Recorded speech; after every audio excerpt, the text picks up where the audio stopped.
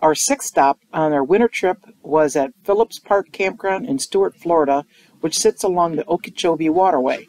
We enjoyed the waterfront view that many of the campsites provide. Come check it out with us. We're Dave and Karen from Watts on Wheels, and we sold our sticks and bricks to RV full time now that we are retired. We travel with our heavy duty truck Leroy, our two Can-Am motorcycles, our DRV Dixie, and our smart car Zippy. Don't forget to subscribe and click on that bell to be notified when we post a new video. One quarter mile. Arrive at 2175 Southwest Locks the Road riding on the club. right. Yep.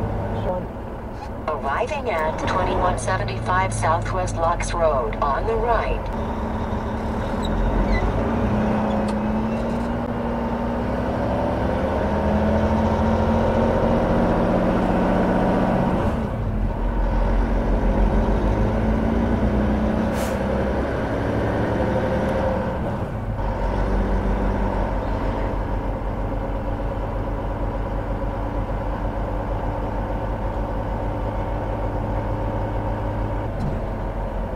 I'm guessing that's our check-in spot. We're at 35, Oh, which way do I gotta go here? straight. You're gonna go straight all the way back. Phipps Park was recently renovated and is a 55 acre conservation and campground area. The campground provides opportunity for fresh and or saltwater fishing and is open year round. Amenities include 99 RV sites that are equipped with full electric service, water, sewer, picnic tables, and a fire ring. They also have a fishing pier, boat ramp, boat dock, waterfront boardwalks and pathways, restrooms with showers, laundry facilities, picnic pavilions, and they have firewood available for sale. Also, Wi-Fi is available. The park opens at 6 a.m. and closes at 7:30 p.m. Campers are provided a gate code to enter and exit after hours. November 1st through April 30th, the RV sites are $60 per night. May 1st through October 31st, they're $50 per night. November 1st through April 30th, interior RV sites are $50 per night, and May 1st, October 31st, they're $45 per night. You can make your reservations online at martin.fl.us slash Phipps. You can choose the site that you want. You okay? Hold back.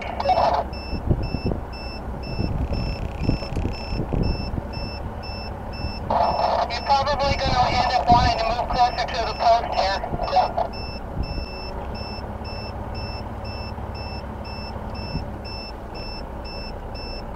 You only about two more feet here. Three, two, one, stop. We ended up parking Leroy, our truck, right across from us in the parking lot. Things you need to know. Maximum of two vehicles per site. A trailer or motorcycle may be kept on site in place of the second car. Use of screws and nails is not permitted in trees or park property. Use of pallets or scrap lumber for firewood is not permitted. Quiet hours are from 10 p.m. to 7 a.m. Laundry room hours are from 7 a.m. to 10 p.m. Check-in time is 3 p.m. Checkout time is 11 a.m. No smoking within 50 feet of all buildings. Campsites are designated to hold a maximum of six people. There is a limit of two pets per campsite. Pets must be kept on the campsite or be restrained with a leash six feet or less. Games and activities can be checked out from the Phipps Park office by simply using your first name and campsite number. There is a 90 day maximum stay for RV camping per calendar year. So they have this whole like tent city where they have the tents here. You don't have to bring yours. You can just rent theirs. You do have to um, park in the regular campground area and haul your stuff across the bridges.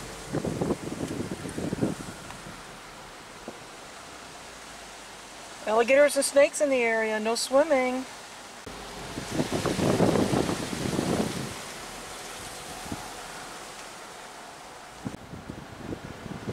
Okay, more tents down here.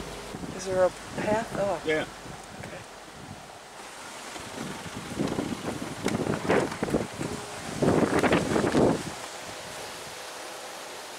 So I walk across that bridge.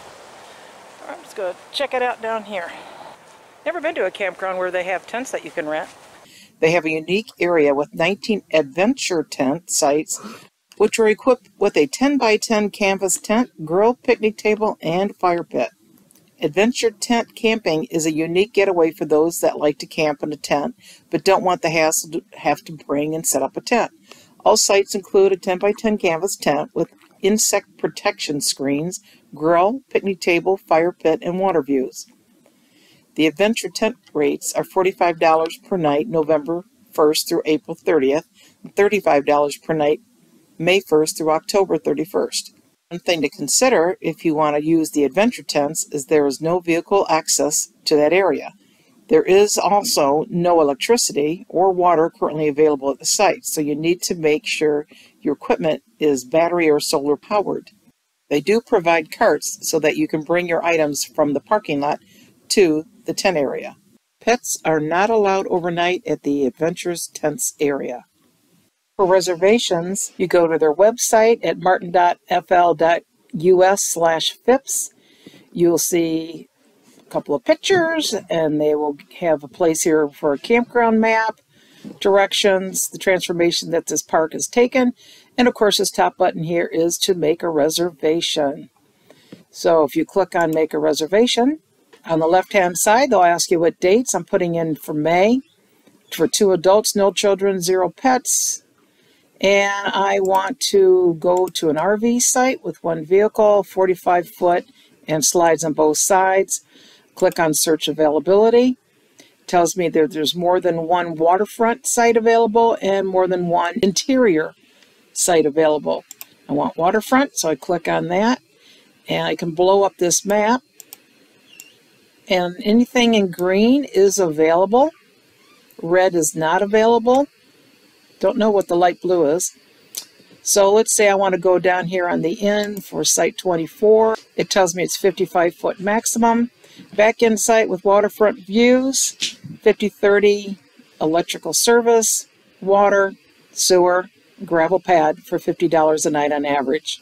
For that site number 24, up here it says up to six adults plus six children and two pets are allowed. If I want to go get one of their adventure tents. On the left-hand side where it says unit type, I can click in adventure tent, search availability, and it tells me lots of them are available. And I can blow this up again, and I can see down here where their tents are. That one's taken, but there's a lot of them that are available. And again, you can click on that. This one happens to have a picture, six adults plus five children. That's tent 01 and it tells you that they have a fire pit, a grill, it's handicap, which I believe they all are, picnic table, and their waterfront, $35 per night. Just click on the blue book button and follow the instructions. Make your reservation. It's easy. And we're going to head down to the launch area. It's a windy day. Now that's the turnpike right there. So you do have road noise at the campground. And it's pretty significant. Outside, but not inside. No, I don't hear it inside, but outside you do. They do not allow ATVs into the Mother Nature area. Like you see over here. No ATVs are allowed.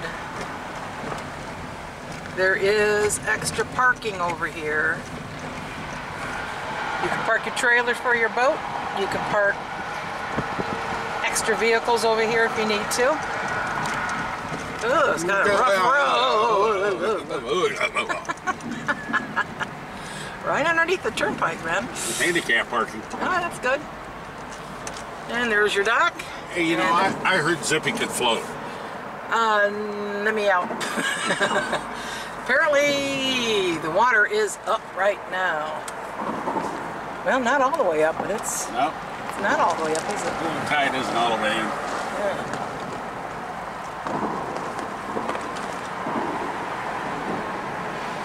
So there is a lot of extra parking back here, so that's good.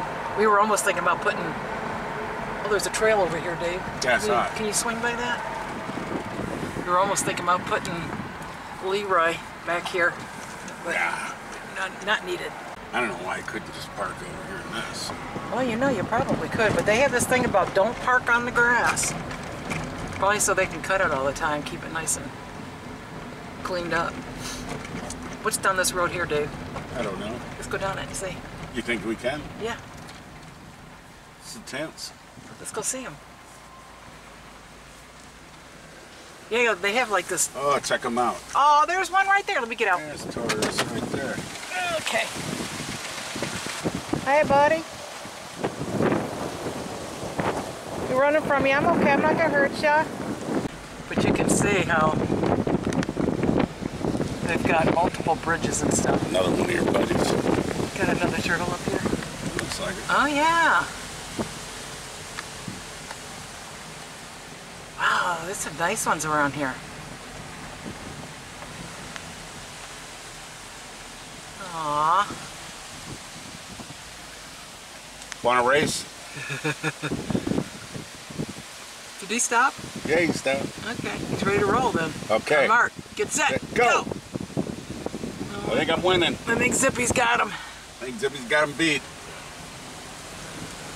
So you can see more of the bridges leading over to the campsites. Over this bog here. Lily pads. Oh yeah. So this is on the far end of the campground. That's us straight ahead there. we are almost on the very end. We're in number 35. 36 is the last one. Let's go that way. It's like a big loop. So you can have river views, or you can have the bog view, or you can be in the interior and just look at the trees. Check this out. There's a tree growing inside the tree, or that tree grew around the tree, because you look up above and you can see a palm tree is in the middle of that. What is that, an oak tree? Yeah. That is wild. Over here they've got some picnic areas, extra parking. That's why you saw Leroy back there. I wouldn't call it a bog. It's more like a pond. A pond. Pond. I call it a bog because of all the lily pads and stuff. Ah. You know they got alligators and stuff in there. Oh yeah. There's things in there that'll kill you. Come up in here and take a look at the bathrooms. This is all quite new. Used to be very rustic camping out here and then they turned it into full hookups and such. And this is their new bathhouse. Go take a look at it. Everything has a code. When the gates close in the evening, you put your code in, and the same code is used for the bathrooms. Okay. Oh, this is nice. So you have your own toilet, sink, and big shower. We got hooks, and a bench, and a wand. But Dave said the water doesn't last very long. It's, uh, he, he hasn't been able to use it several times because there's been somebody in here. Water doesn't last long, unfortunately. And here is their laundry. You can also fill up your water bottles here. And here's their laundry. Appears to be two dollars. And they take coins. Three dryers, three washers. That is. A couple of them are out of service. Folding tables. And it's air conditioned. Nice and clean. So this is kind of the center of the park some of the inside areas that you can get a campsite. Water straight ahead there. The road is definitely rough here. Here's Zippy's red-headed stepchild brother. From Canada. This is along the water. Nice palm trees. They keep this campsite, they keep this campground really clean, except for the roads. they need to fill them bad boys in. Resurfacing. Yeah. But it does keep you slowed down. See that? Just laying out on your coma chairs, looking at the river. On the inside, they're they're all about what do you think, 65 feet long? About that. Don't want to park anything on the grass though. And as we exit, you will see the little guard shack that you check into. Over here, you'll see the locks.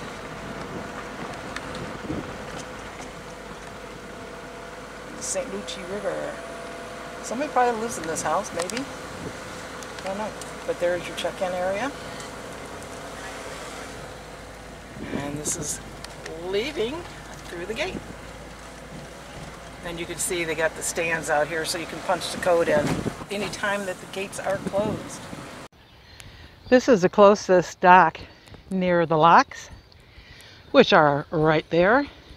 We have seen sailboats, big boats, little boats, fishing boats, all coming through here. Water's down right now. This is brackish water.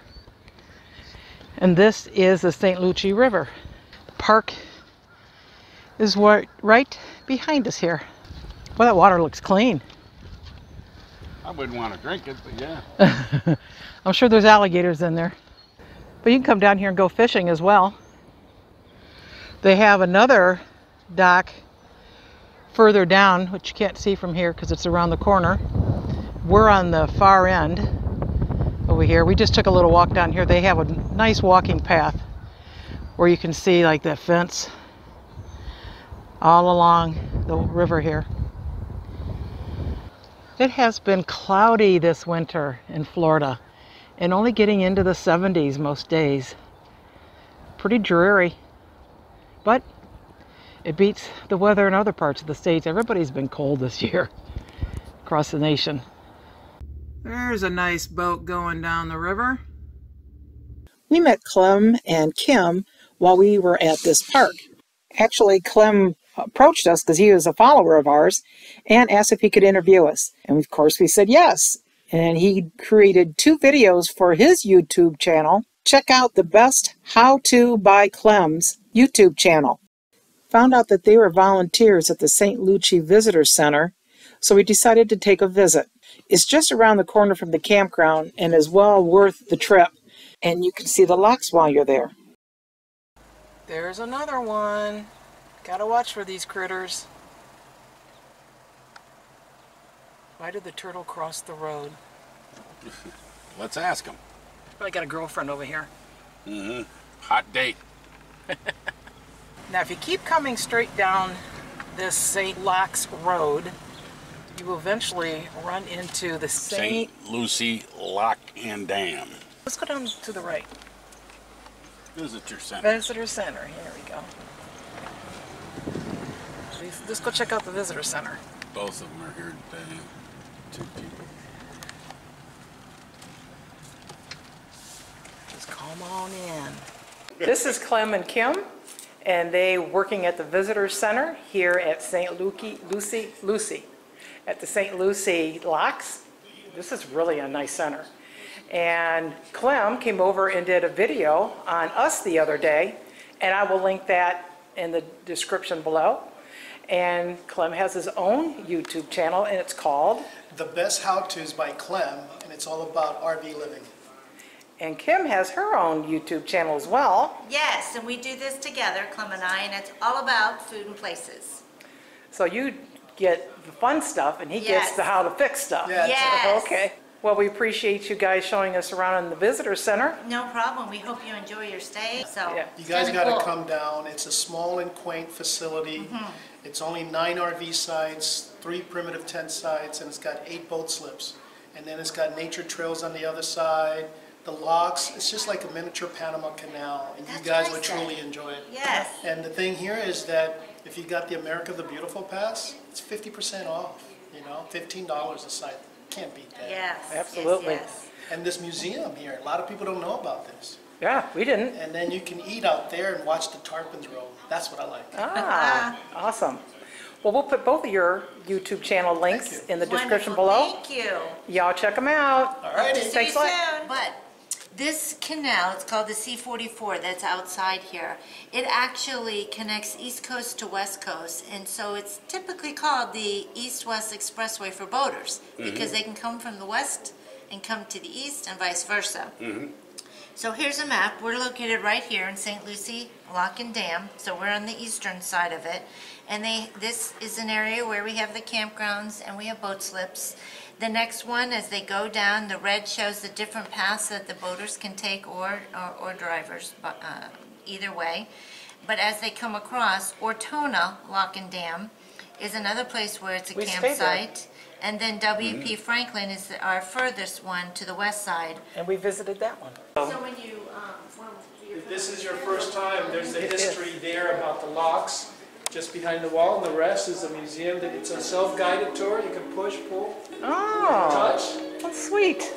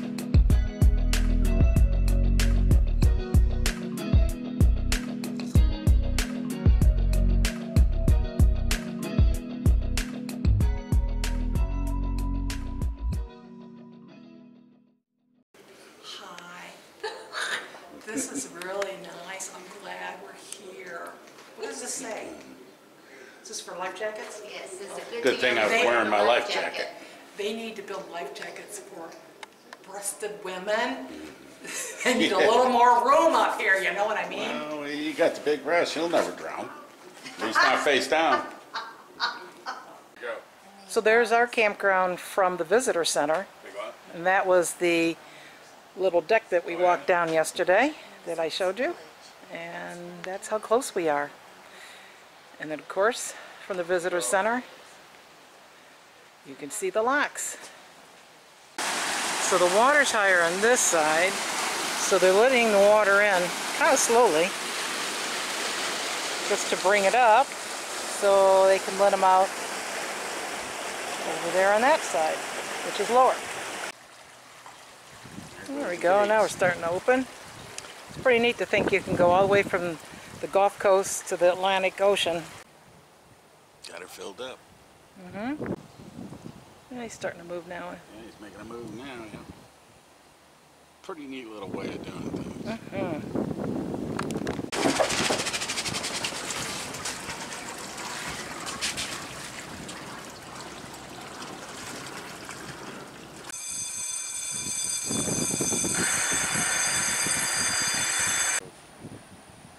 Okay, now they're opening up this gate. Gonna let the water back out. And I'd say if you're looking at the water line there, it's probably dropped 15 feet. This whole thing took, what, about 30 minutes? Yeah, probably. And off he goes. Mm-mm-mm. It's chow time. There are three berry fresh cafes in this area Port St. Lucie, Jupiter, and Stuart. It is one of the best places we have ever eaten for breakfast. Their food is made from scratch, and many of their foods are sourced locally for authentic farm to table freshness. They serve breakfast, brunch, and lunch seven days a week. It's a casual, relaxed atmosphere, and they do have a dog friendly outdoor seating. Not only is the food excellent, so is the service. Hey Dave, what do you think of Berry Farm's homemade hash? Most excellent.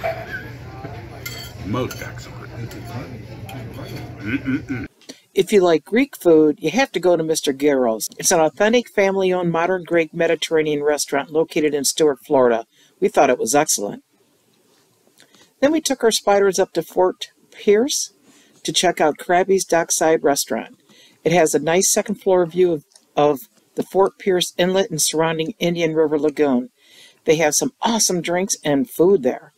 Then you can grab a scoop of Sweet Willie's ice cream on your way out.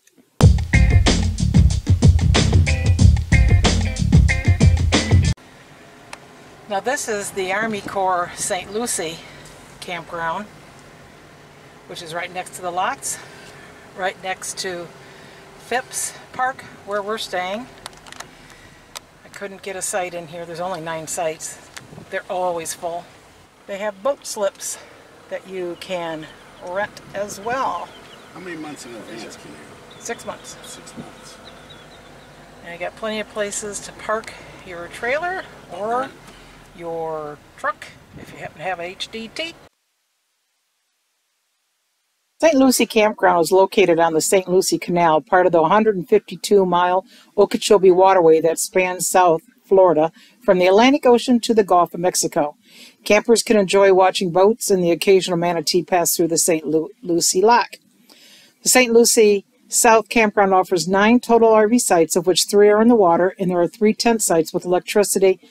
Plus, there's eight cruiser sites for boat campers with water and electric, and you must sleep on your boat. All RV and cruiser sites have 50 amp electric and water hookups. The trailer dump station is on site for your convenience, and of course, don't miss the visitor center. RV sites are $30 a night, tent sites are $20 a night, and you get 50% off if you have America the Beautiful Senior Card. Make your reservations at recreation.gov up to six months in advance and choose your site. Things you need to know Campground access gate opens at 6 a.m. and closes at sunset. Campground quiet hours are from 10 p.m. to 6 a.m. Checkout time is 11, check in time is at 12. Campers are limited to one RV trailer sewer dump per week of stay, a maximum of two times in a 14 day period. Portable blue holding tanks may dump unlimited times during their stay. Campsites have maximum occupancy of eight people per site, and don't move the firewood.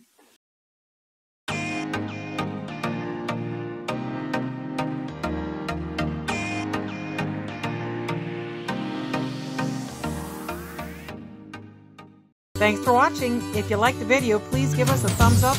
We'd love to hear from you in the comments below, even if it's just to say hi. Don't forget to subscribe.